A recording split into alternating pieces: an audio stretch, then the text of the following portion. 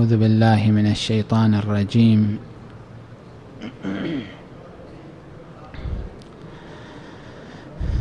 بسم الله الرحمن الرحيم.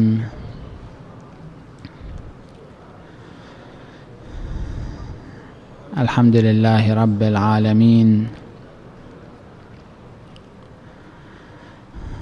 وصلى الله على سيدنا محمد وآله الطاهرين.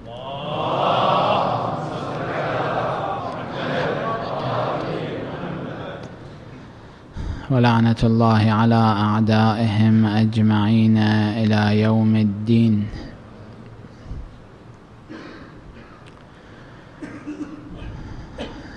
قال الله الحكيم في محكم كتابه الكريم بسم الله الرحمن الرحيم. ومن قتل مظلوما فقد جعلنا لوليه سلطانا. فلا يسرف في القتل إنه كان منصورا.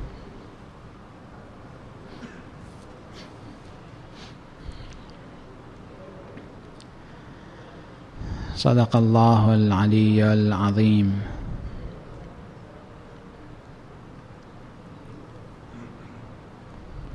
عظم الله أجورنا وأجوركم.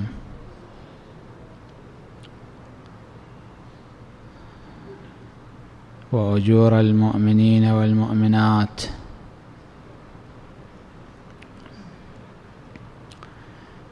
بمصابنا بسيدنا ومولانا. سيد الشهداء الإمام أبي عبد الله الحسين بن علي بن أبي طالب صلوات الله وسلامه عليه.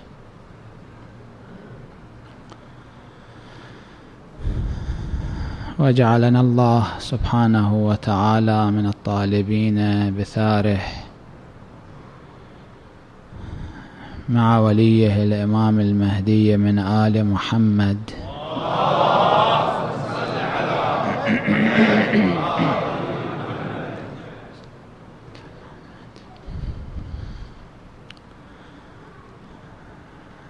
لا يوم كيوم الحسين.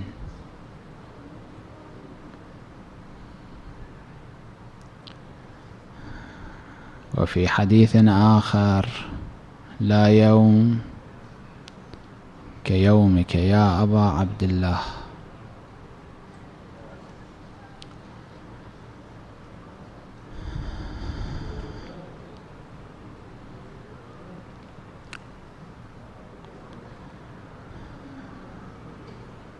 لماذا لا يوم كيومك يا أبا عبد الله؟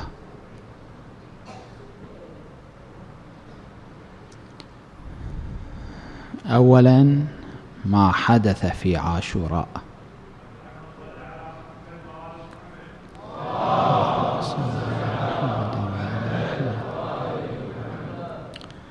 ثانيا ما سبق عاشوراء. ثالثا آثار عاشوراء. من كل هذه الجهات لا يوم كيوم الحسين كما يقوله الإمام علي بن الحسين.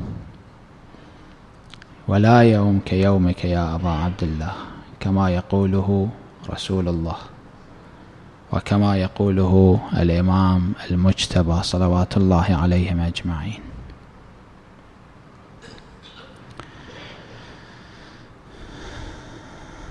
الله عز وجل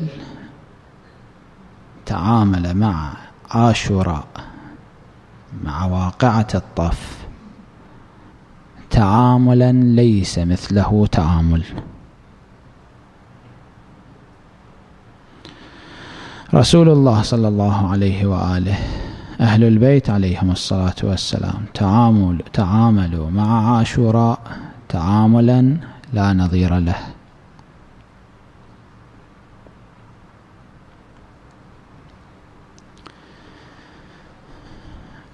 وما سيتعاملون وما سوف يتعاملون أيضا لا نظير له. وما سيتعاملون في الدنيا؟ وما سوف يتعاملون في القيامة؟ لا نظير له. هل سمعتم أو قرأتم أن الله عز وجل بنفسه يذكر مصائب أحد لأنبيائه إلا للحسين؟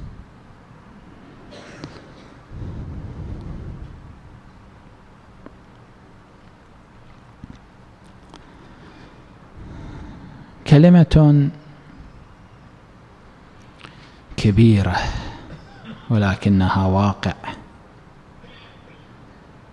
هل سمعتم أو قرأتم أن الله عز وجل يدمي ويجرح أحبابه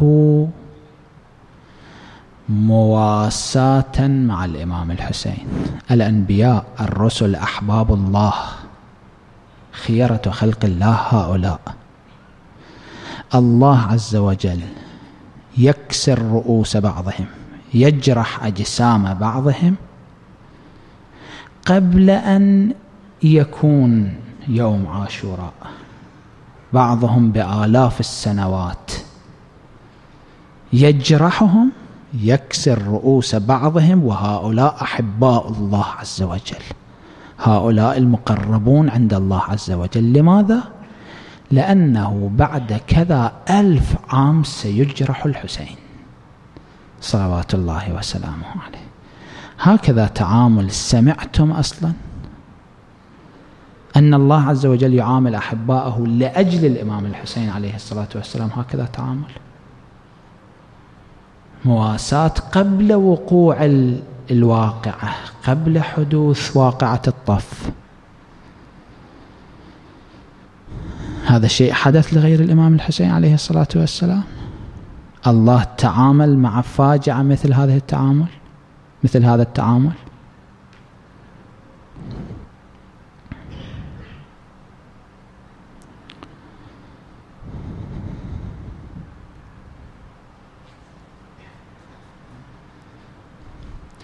بالنسبة إلى رسول الله صلى الله عليه وآله سمعتم تعرفون كثيرا من التعامل الاستثنائي مع قضية الإمام الحسين عليه الصلاة والسلام. هذا الشيء ذكرته فقط إشارة لا أريد أن أقف عنده. في زيارة عاشوراء نقرأ عن قتلة الحسين عليه الصلاة والسلام. اللعين. ابن اللعين على لسانك ولسان نبيك. في كل موطن وموقف وقف فيه نبيك صلى الله عليه وآله. سمعتم أن رسول الله صلى الله عليه وآله في كل المواطن في كل المواقف وهي بالآلاف في حياة النبي. كم هي مواطن النبي؟ مواطن حياة النبي. كم هي مواقف النبي صلى الله عليه وآله في حياته؟ بالآلاف. أن رسول الله صلى الله عليه وآله في كل موطن في كل موقف يلعن غير قتلة الإمام الحسين. طبعا الذين أسسوا لقتل الإمام الحسين هم من قتلة الإمام الحسين. عليه الصلاة والسلام.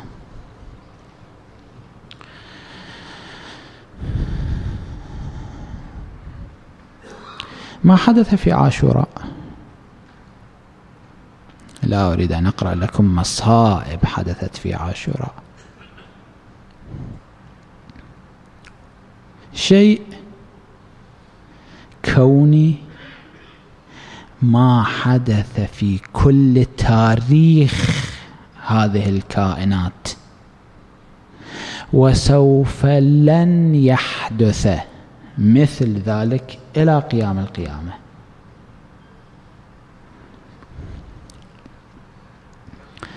إخواني الموجبات لصلاة الآيات أربعة أمور. هذه التي توجب صلاة الآيات. هذه أبرز مظاهر غضب الله سبحانه وتعالى التي تحصل.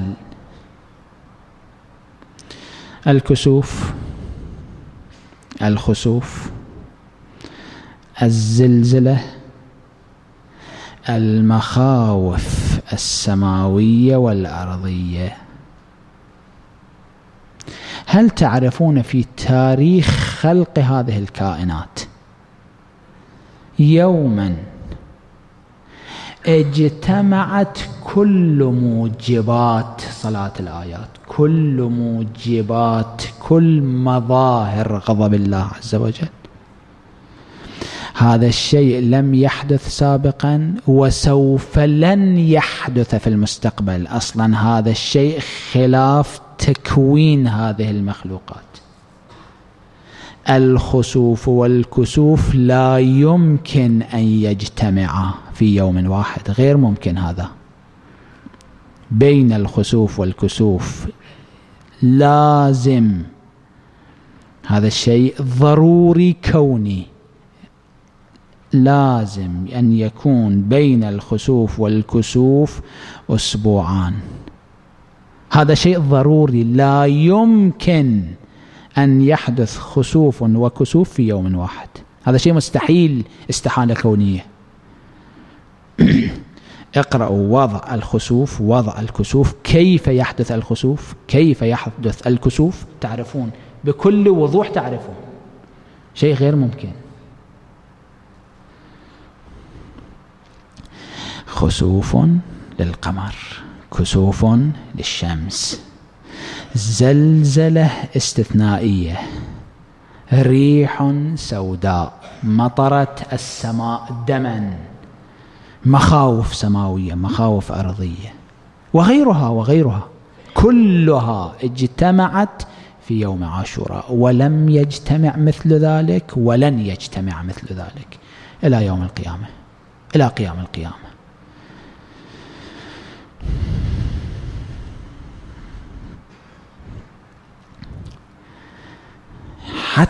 الجمادات تعاملت تعاملا استثنائيا مع عاشوراء. الشمس القمر السماء الأرض كلها.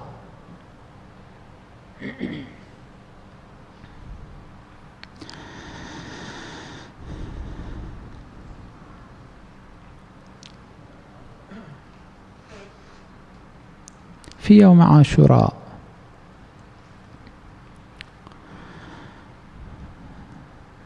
هذا الشيء سمعتموه أو قرأتم في المقاتل.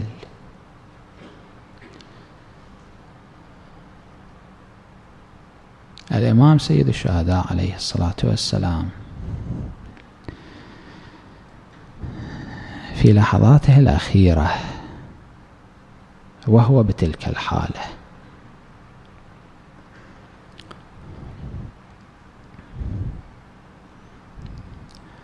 عنده مناجاة في لحظاته الأخيرة. قبل أن ترتكب تلك الجريمة الكبرى بلحظات.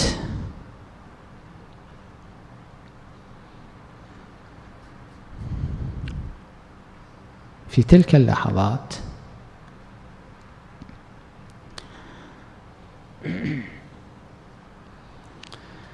يقول الإمام عليه الصلاة والسلام يا إلهي رضا بقضائك. يا رب لا إله سواك.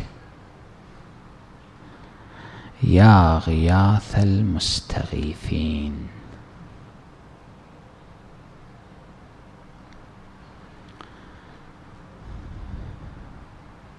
الإمام عليه الصلاة والسلام في تلك اللحظات يقول يا غياث المستغيثين.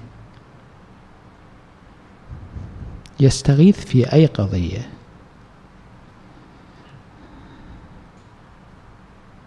لحظاته الأخيرة الضعف قد غلب على الإمام عليه الصلاة والسلام. الإمام يستغيث بالله عز وجل في أن لا يقتل الإمام هو أقدم هو جاء للميدان هو خرج من المدينة ليستشهد. الإمام خائف من الاستشهاد.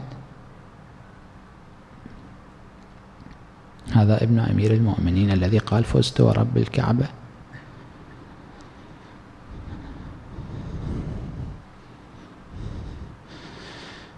ثم الإمام عليه الصلاة والسلام في تلك الحالة وهو ينزف. واضح اللحظات الأخيرة من حياة الإمام. الإمام يقول يا غياث المستغيثين يطلب من الله عز وجل أن يغيثه ليرجع إلى الدنيا.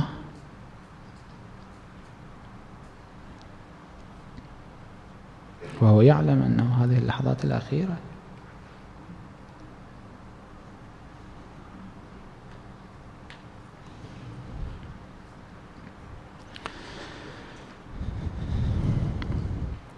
لعل استغاثة الإمام صلوات الله وسلامه عليه في تلك اللحظات كانت لعائلته.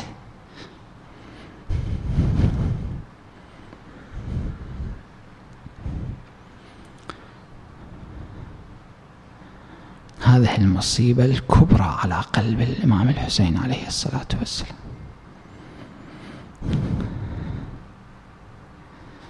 لعل استغاثته كانت لأسر السيدة زينب سلام الله عليها.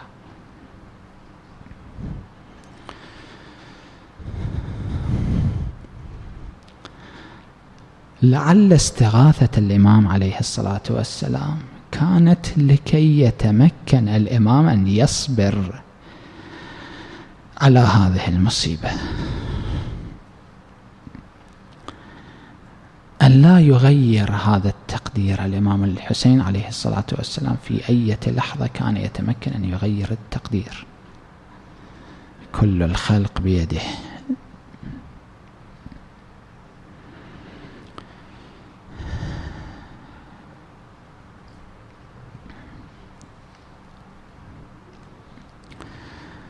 الخطباء الكرام أعرف مني. أنا ما وجدت أن الإمام سيد الشهداء عليه الصلاة والسلام في يوم عاشوراء يقول هذه الكلمة في أي مصيبة؟ رغم الصعب المصائب المصائب التي السماوات اهتزت السماوات تحركت أهل السماوات تحركوا اهتزوا. الإمام سيد الشهداء عليه الصلاة والسلام كان صامدا فيها. في هذا الموقف وهو يعلم أن اللحظات الأخيرة من حياته. يقول يا غياث المستغيثين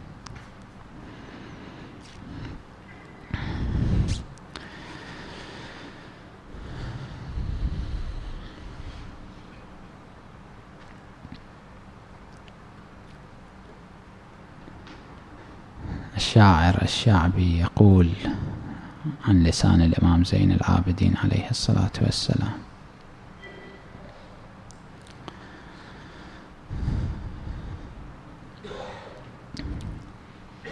يقول أشعار سمعتموها مرارا وتكرارا من الخطباء الكرام.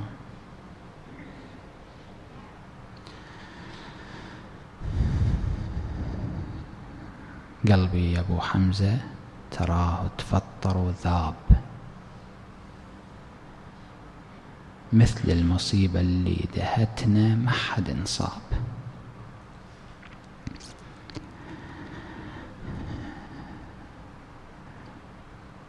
ذيك الأقمار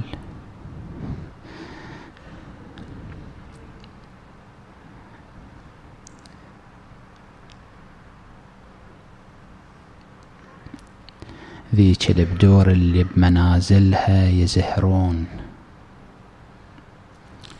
والليل كله من العبادة ما يفترون. سبعة وعشرة عاينتهم كلهم غصون فوق الوطية مطرحين بحر التراب.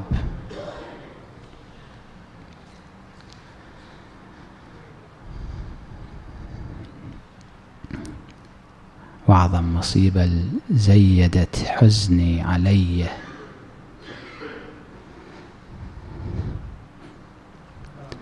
داست على جسم العزيز خيول ميه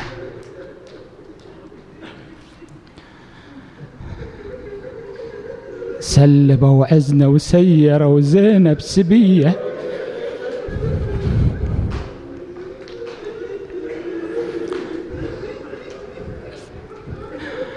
حسرة ومن كثر المصايب راسها شاب.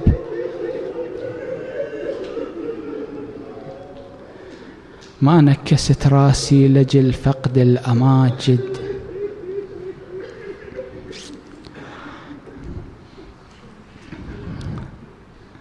ما قصروا بالغاضرية زلزلوا زلزلوا الميد. نكس راسي دخول زينب مجلس يزيد.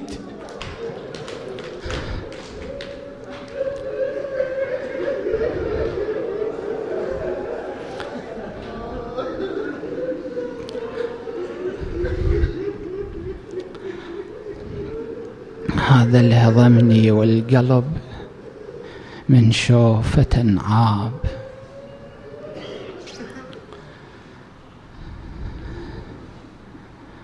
ألا لعنة الله على يزيد. ألا لعنة الله على يزيد. ألا لعنة الله على من أسس ليزيد. ألا لعنة الله على أتباع يزيد.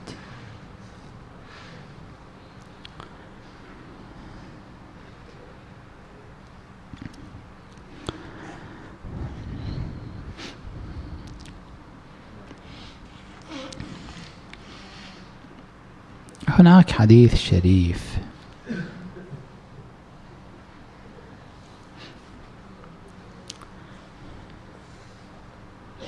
أردت أن أخصص مجلسا كاملا لهذا الحديث الشريف. ولكن حيث يتضمن هذا الحديث على أمور عظيمة. ولكن هذا الحديث المطول المفصل إلى حد ما أقرأه بسرعة لكم. الحديث ورد في كامل الزيارات. صحيح على الأصح.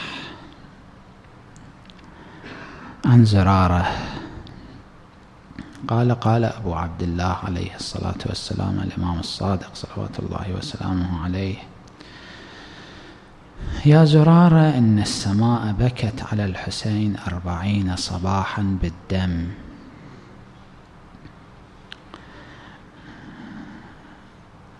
وإن الأرض بكت أربعين صباحا بالسواد.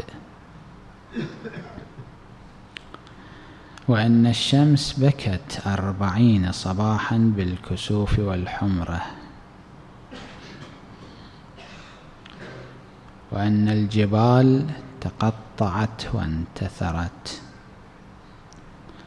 وأن البحار تفجرت وإن الملائكة بكت أربعين صباحا على الحسين الملائكة يعني كلهم.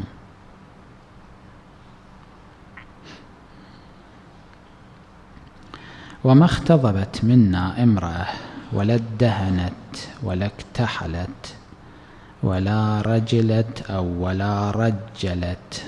رجلت يعني سرحت الشعر تمشيط الشعر يعني يسمى ترجيلا للشعر. أو رجلت لعله بمعنى تزوجت. ولا رجلت أو رجلت حتى أتانا رأس عبيد الله بن زياد. عليه لعان الله. وما زلنا في عبرة بعده.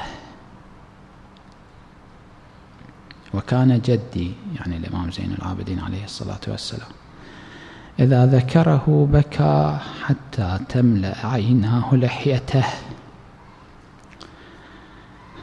وحتى يبكي لبكائه رحمة له من رآه. وأن الملائكة الذين عند قبره ليبكون. هناك مجموعة من الملائكة على أقل التقادير أربعة آلاف ملك. هؤلاء مقيمون عند قبر الإمام الحسين عليه الصلاة والسلام. لهم وظائف معينة مذكورة في الروايات الشريفة. وإن الملائكة الذين عند قبره ليبكون فيبكي لبكائهم كل من في الهواء والسماء من الملائكة. ولقد خرجت نفسه صلوات الله وسلامه عليه فزفرت جهنم زفرة كادت الأرض تنشق لزفرتها. غضب جهنم. ولقد خرجت نفس عبيد الله بن زياد ويزيد بن معاوية عليهما لعائن الله تترى أبد الآبدين. ولقد خرجت نفس عبيد الله بن زياد نفس عبيد الله بن زياد ويزيد بن معاوية فشهقت جهنم شهقة من غضبها. لولا أن الله عز وجل حبسها بخزانها لأحرقت من على ظهر الأرض من فورها. هجمت حتى تبتلع. لولا أن الله عز وجل حبسها بخزانها الملائكة الخزان لجهنم هؤلاء مسكوها حفظوها ولو يؤذن لها ما بقي شيء إلا ابتلعته. ولكنها مأمورة مصفودة. يعني نار جهنم في أغلال في قيود ما تتمكن. الخزنة ماخذينها حابسينها. ولقد هذه عبارة جدا عجيبة. ولقد عتت على الخزان غير مرة أكثر من مرة. خزان جهنم ملائكة أقوياء لهم قوة من الله عز وجل. ليسوا ضعاف. أكثر من مرة جهنم عتت على خزانها. يعني رادت تخرج من طورها. الخزان ما تمكنوا يضبطونها. من شدة غضبها وهذا مو مرة أكثر من مرة. ولقد عتت كلام الإمام هذا ولقد عتت على الخزان غير مرة حتى أتاها جبرائيل فضربها بجناحه فسكنت. يعني كانت تحتاج قوة جبرائيل. الخزان خزان الملائكة ما كانوا يتمكنون يضبطونها. جبرائيل طبعا سيد الملائكة. القرآن الكريم يقول ذي قوة قوة جبرائيل قوة استثنائية في الملائكة. وإنها لتبكيه وتندبه وإنها لتتلظى على قاتله. شيء واحد يجعل نار جهنم لا تبتلع أهل الأرض بعد عاشوراء. بعد عاشوراء نار جهنم لا ترى قيمة للبشر. خلاص. الإمام الحسين عليه الصلاة والسلام قتل على هذه الأرض. ما هي قيمة بقية البشر؟ ليقتل كل الناس. شيء واحد يجعل نار جهنم تنضبط. مع أنها أكثر من مرة هذه الحالة صارت. ولولا من على الأرض من حجج الله. حجة الله على الأرض هذا الوحيد اللي يبقي الأمور على وضعها. ولولا من على الأرض من حجج الله لنقضت الأرض. وأكفأت بما عليها. أو أكفئت قد يكون الكلمة هكذا تكون. إلى أن يقول عليه الصلاة والسلام وما من عين أحب إلى الله ولا عبرة من عين بكت ودمعت عليه. وما من باك يبكيه هذه الكلمة العظيمة الواردة في روايات عديدة. وما من باك يبكيه إلا وقد وصل فاطمة عليها الصلاة والسلام وأسعدها عليه. ووصل رسول الله وأدى حقنا. وما من عبد يحشر كل الخلق يحشرون باكين. وما من عبد يحشر إلا وعيناه باكية. إلا الباكين على جدي الحسين. فإنه يعني فإن الباكي يحشر وعينه قريرة. والبشارة تلقاه والسرور بين على وجهه والخلق في الفزع وهم آمنون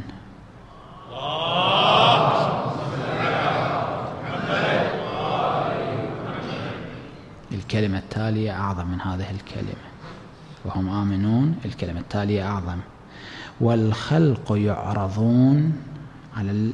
يعني يعرضون تعرض أعمالهم والخلق يعرضون وهم حداث الحسين.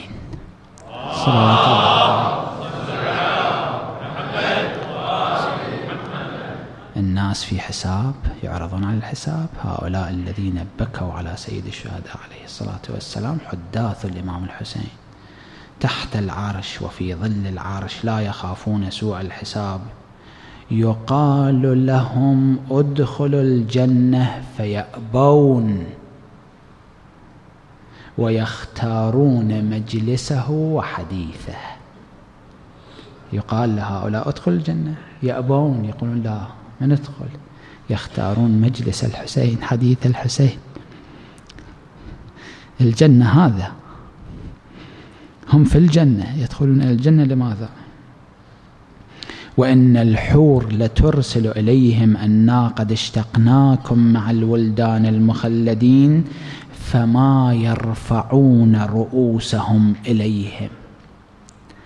أصلا الحور ترسل لعله ملائكة أنه خبروهم خلي يجون إحنا مشتاقين لهم الولدان المخلدين مشتاقين لهم هؤلاء حتى ما يرفعون رؤوسهم إلى الجنة مشغولين بهذا. بهذه الجنة الحقيقية. فما يرفعون رؤوسهم إليهم لما يرون في مجلسهم من السرور والكرامة.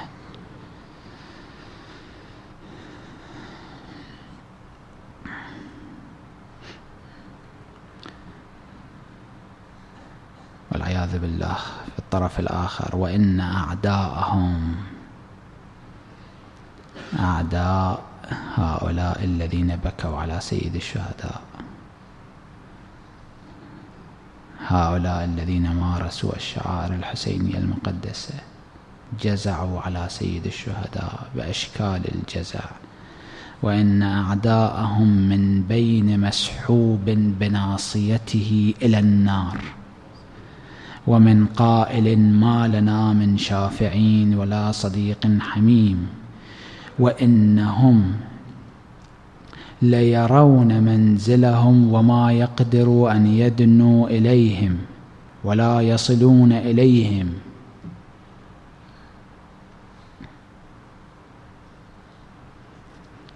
إلى آخر الرواية الشريفة.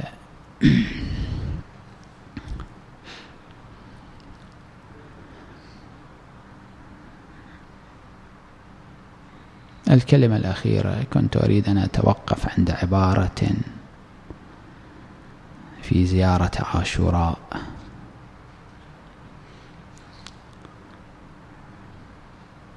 فقط أذكر هذه العبارة. تأملوا فيها. لعلي أوفق مرة أخرى وقت ثاني أقف عند هذه العبارة. هذه العبارة عبارة عظيمة وتتضمن أمورا مهمة في حياتنا. وهذه العبارة تبين تكليفا وواجبا كبيرا تجاه الإمام الحسين عليه الصلاة والسلام. العبارة في آخر زيارة عاشوراء في السجدة. بعد ما الإنسان يزور يسجد سجدة يقول اللهم لك الحمد حمد الشاكرين على مصابهم. راجعوا الزيارة هذه وردت في مصادر عديدة بأسانيد عديدة. في كلها العبارة هذه العبارة حمد الشاكرين. العبارة ليست حمد الحامدين. عادة لازم يكون يعني الوضع الطبيعي حمد الحامدين. تكبير المكبرين تهليل المهللين تسبيح المسبحين. العبارة هكذا اللهم لك الحمد حمد الشاكرين. في بعض النسخ على مصابهم في بعض النسخ لك على مصابهم. حمد الشاكرين. هذه العبارة تتضمن شيئا كثيرا وهذه العبارة تبين واجبا كبيرا تجاه دم الإمام الحسين تجاه مصيبة الإمام الحسين. حمد الشاكرين على مصابهم أو لك على مصابهم. مصيبة الإمام الحسين عليه الصلاة والسلام. الإمام أوذي تلك الأذية. الكبيرة التي تحيرت ملائكة السماء تعجبت ملائكة السماء من صبر الإمام الحسين صلوات الله وسلامه عليه. الملائكة ما عندها عواطف الملائكة ما تتعجب. ماذا رأت الملائكة حتى تعجبت. هذه المصيبة الكبيرة هذه مصيبة كبيرة. تكشف لنا واجبا كبيرا تجاه هذه المصيبة. الواجب ما هو؟ نبكي على سيد الشهداء. عظيم عظيم. الواجب نؤسس مجالس لسيد الشهداء عليه الصلاة والسلام. عظيم. الواجب نلطم. عظيم. نطبر نجرح رؤوسنا. عظيم. نمشي حفاة يوم عاشوراء. عظيم. الإنسان في يوم عاشوراء يكون بهيئة المصاب شكل شخص أصيب بمصيبة كبيرة. هيئته تكون هكذا. عظيم. في يوم عاشوراء من الصباح إلى العصر لا يأكل شيئا لا يشرب شيئا بدون نية الصيام. الصيام في يوم عاشوراء بين أن يكون عمل محرم أو عمل مكروه. مكروه كراهة شديدة. إنما الإنسان لا يأكل لا يشرب. هذا العمل عظيم. البعض عندهم شعائر خاصة بهم. كلها عظيمة. ماشي على الشوك. عظيم. بنات رسول الله صلى الله عليه وآله. في يوم عاشوراء ركضوا على الأشواك. عظيم هذا. كل هذه الشعائر عظيمة. أداء هذه الشعائر شيء عظيم بعضها واجبة عند بعض الفقهاء بعضها مستحبة من المستحبات المؤكدة. هذه كلها صحيحة ولكن هناك شيء آخر أيضا مع هذا هناك تعظيم لهذه الشعائر ليس فقط أداء هذه الشعائر ومن يعظم لا من يؤدي شعائر الله. أداء شعائر الله شيء تعظيم شعائر الله شيء آخر. هناك أمور أخرى تأملوا في هذه العبارة. اللهم لك الحمد حمد الشاكرين على مصابهم أو لك على مصابهم. عظم الله أجوركم وأجور المؤمنين والمؤمنات. نعزي سيدنا ومولانا صاحب العزاء. بقية الله الأعظم.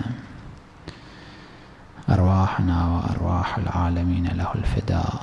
نسأل الله سبحانه وتعالى بحق الحسين بدم الحسين بمظلومية الحسين بصبر الحسين. اللهم عجل فرج المنتقم للحسين. اللهم أعطه في نفسه وذريته وشيعته ورعيته وخاصته وعامته وعدوه وجميع أهل الدنيا ما تقر به عينه وتسر به نفسه وبلغه أفضل ما أمله في الدنيا والآخرة إنك على كل شيء قدير